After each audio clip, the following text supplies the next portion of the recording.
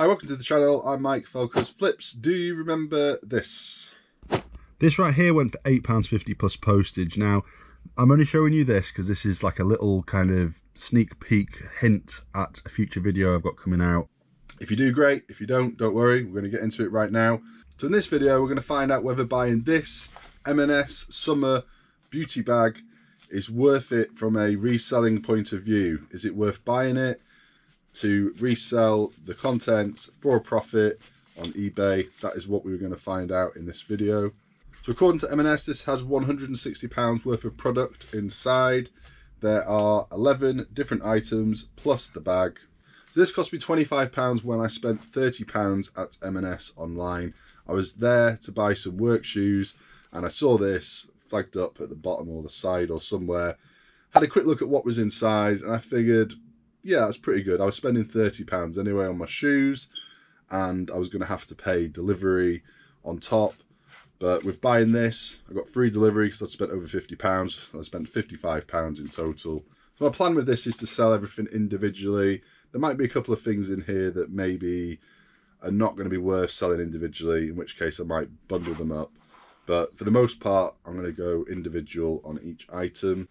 If you didn't know, the new one of these has actually just come out. The day this video is releasing, they have just released a Christmas version of this in the form of an advent calendar. They do it every year, and I have bought it in previous years. I don't think I got it last year, but I bought it a couple of times in the past purely to give as a gift to somebody and I was qu always quite impressed with the stuff that you get inside. So we're going to go back to July when I got the box through in the post we're going to have a quick look at everything that's in there and we're going to take it from there. Let's go. So yeah, let's take a look at what you actually get in here.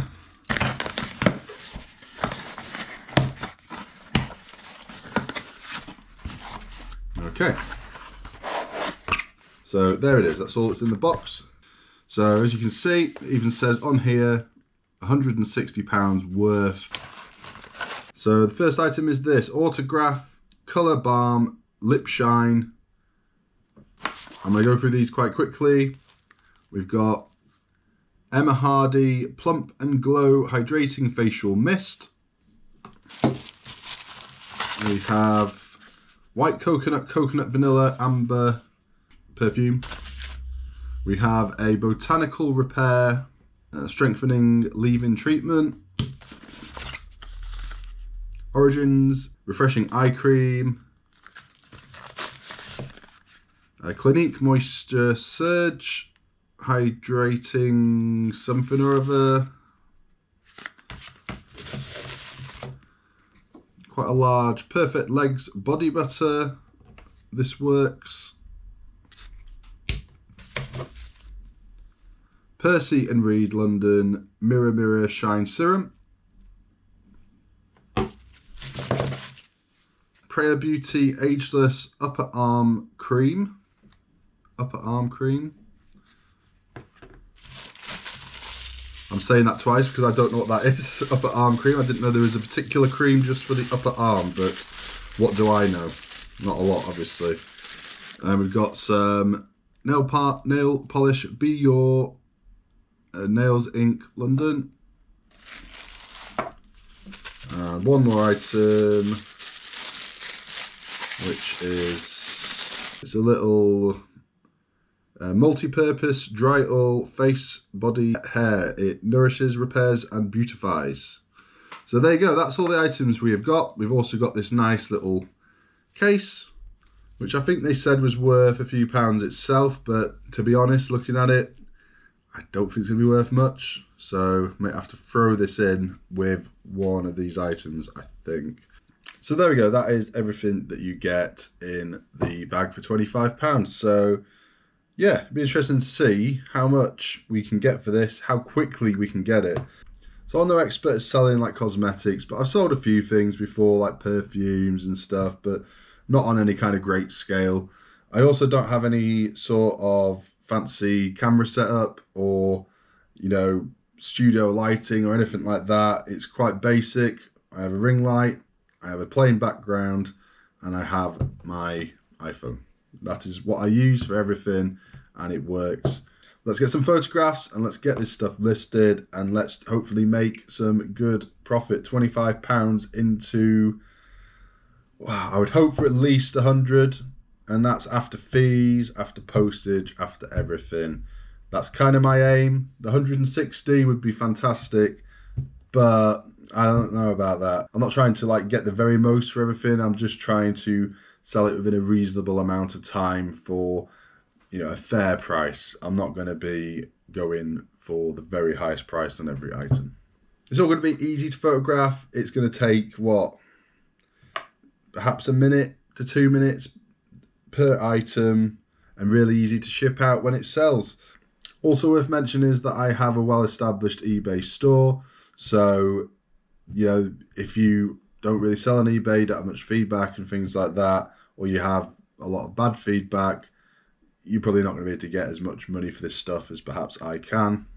So I will drop back into this video at a later date with a bit of an update. So the next thing you will see will be that. It will be me updating you on how this stuff is going. So I've not done an update recently on this. I've just sold this item. So I just thought I would show you. We've sold quite a few of these items now. I've got £8.50 plus postage on this one, which is just in here. And there's not that many left now, look. So that's the one we just sold. So let's go and take a look at how much money so far we have made. Have we managed to get into the profit yet on this stuff? We will see. Let's go and have a look. So it's now October. So what we're talking July, August, September, October. It's about three to four months later, and we've sold the majority of the goods. But have we made a profit? That is the important question here. Let's have a look. So there are 12 items in total, including the bag, and it's £25. So that's £2, 8 pence per item that I need to kind of take off the amount that we are making. So the first item to sell was Emma Hardy Facial Mist. That sold for £7.99. Free postage. Postage was £2.85 on every single item here. The fees based on 10.9% in the beauty category on eBay. That is the percentage. It's 10.9% plus 30p. So I've worked all this out. I've already done all that. So I will read it out to you as we go. So 7.99 free postage. So I've had to pay the postage. Uh, the fees £1.17 in total, which leaves us with a profit on the first item of £1.89. Yes, I know it's not a lot. Bear with me. The second item to sell was, I'm just trying to read my bad handwriting. I think it's Prayer. Is it Prayer Beauty Upper Arm Cream? It's whatever I've put on the screen right now. And 7.99 again.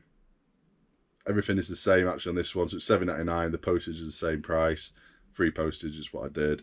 I've basically done free postage where it's been kind of competitive to do so. So if other people have done free postage, I've tended to do free postage as well. If other people haven't done free postage, then I put postage on. So it's another £1.89 profit on that item. The next one is better. It's It was the Origins Eye Cream, £15.95 plus postage on top. So, and actually I've made a little bit of profit on the postage as well, just a little bit. Um, it's only cost me £2.85, but I put £3.35. If you already sell on eBay, you'll, you'll know this, but £3.35 at the moment, if you if you click on second class small parcel with Royal Mail, 3.35 is just the standard that comes up. I think that's what you pay if you go to the post office and send it. I get a little bit less because I do it through eBay, so I pay a little bit less for uh, the postage. So I'm making a little bit on that. But the other thing that a lot of people don't realise if you don't sell on eBay is that eBay take a percentage off everything, including the postage. So, for instance, if you're charging £3 for postage, you're not getting that £3. You are getting the £3 minus the 10.9% or whatever the percentage is on that particular category you've sold on. So the Origins eye cream, £15.95 plus the postage and then the, so the fees were two pounds forty in total, and the total profit is eleven pounds ninety seven. So that's a little bit better, right? A little bit better than the one pound eighty nine we had on the last two. And next was the white coconut perfume. For that, we got twelve ninety nine plus postage. Again, with the postage, I have charged three pounds thirty five, but it only cost me two pounds eighty five. But the fees end up at two pounds and eight pence for the fees, and the overall profit is nine pounds thirty-three. And the next thing was the Avida or Aveda Botanical Repair. That was eight pounds fifty. Got eight pounds fifty for that plus postage, and again made the fifty p on the postage. The fees on that one pound fifty nine, and the profit is five pounds thirty three. Next, the Mini Huel dry oil got six pounds fifty, free postage on that. So once you take off the postage and the fees, the fees were a pound. You are only left with fifty-seven p profit. Yes. Next is the Clinique Moisture Surge Hydrator. We got eight pounds fifty, free postage on this. Fees were £1.23, profit £2.34. Next is the Percy and Reed Hair Serum. We got £6.99 for that. Free postage, so I had to pay the postage, and the fees were £1.06, pence, which left us with a profit of £1. This was one of the ones that I've only sold recently, and I did put the price down a fair bit. Probably could have held out a bit on the price on that one. And then the last item that is sold is the This Works body butter. That went for five ninety nine plus postage, but only made 15 pence more profit on that. For some reason, I put the postage less on that particular one. I don't know why, to be honest. I don't know. I think, I, again, I was probably just trying to be competitive. I imagine somebody else maybe had it up at five ninety nine with 350 postage or something like that. So I've probably just lowered it down below theirs so it'd sell quickly. So it's five ninety nine plus postage. The fees were one pound twenty eight, and the profit was two pounds seventy eight. And that's everything I have sold. So that's nine items. So we've still got the nail polish, the lip balm, and the bag that have not sold. So what I'm going to do with them is I'm going to stick them together all as one, and I'm going to try and sell them for about eight to ten pounds uh, maybe plus postage, not sure. And I'm just going to try and break even on them. So the total amount I have brought in, including postage, is £94.45. I've then paid out £25.65 in postage to send everything out. And then I have spent £12.98 in fees, eBay fees, for everything that has sold. And of course, let's not forget the £25 initial buy cost for the goods as well which leaves us with a profit of £30.82, pence, all said and done. What do you think? What do you think? It's obviously not a lot. I don't know what I was thinking when I was thinking we would get close to £100. I was basically going off the 160, you know, estimated value there of all the goods. I was thinking, well, if it's close to 160, then surely we can get somewhere close to a hundred pounds all said and done. But no this is the reality. So with all this stuff i've priced it to sell. I probably could have held out a little bit more on some items and got a little bit more for them but i really wanted to kind of show in a video and before this uh, christmas advent calendar that they're doing comes out I want to kind of I wanted to you know get the video done before then so it gives people the chance to try it themselves if they want to. I'm not saying you necessarily should. It's not going to be for everyone. What I would say is very easy. You know, this stuff is small. It all fits into here and if you wanted to, you could you know, if you really wanted to buy up a load of these and again, that is down to you. Look into it before you do. So all 11 items plus the bag here in this little thing takes no room to store it's really easy to package the stuff up. Uh, most of it's gone out in little boxes or like polythene bags with a little bit of bubble wrap around it and everything has got there and everything has got there okay. What I would say is I don't know how many of these you're allowed to actually buy. It's definitely one per transaction, but I think if you went in and you bought, you know, more stuff at a later date, you would probably still be able to get it.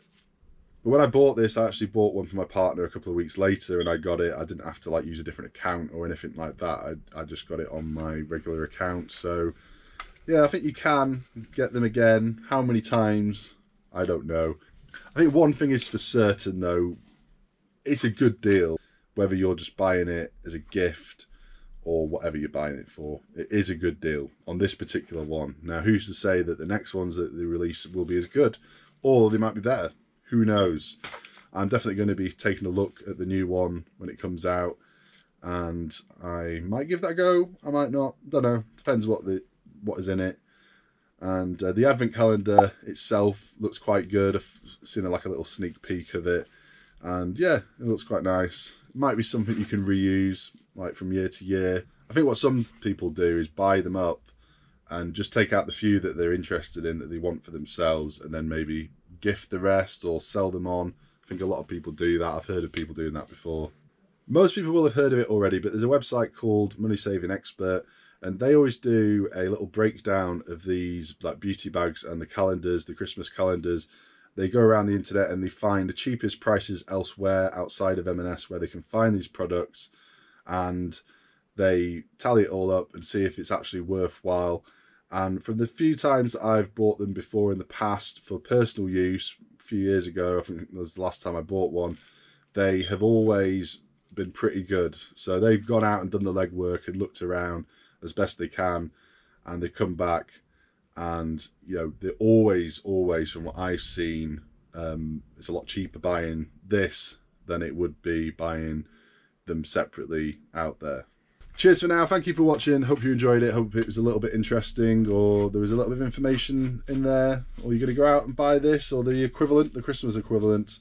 Hopefully it will be as good as this, if not better. Yeah, let me know what you think down in the comments. If you like this kind of video, be sure to subscribe. There'll be more videos like this coming in the future.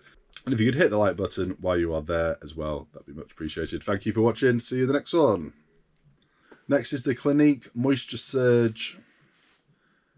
And next is the Clinique Moisture. Moisture. next is the Clinique Moisture Surge Hydrate. I can't remember these names. Clinique Moisture Surge Hydrator. Next is the Clinique Moisture Surge. I don't know why I can't say this. Moisture Surge Hydrator.